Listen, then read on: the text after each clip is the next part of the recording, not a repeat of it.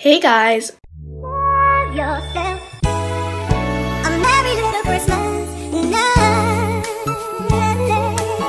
welcome to Vlogmas Day 23. There are two days till Christmas and I am so excited.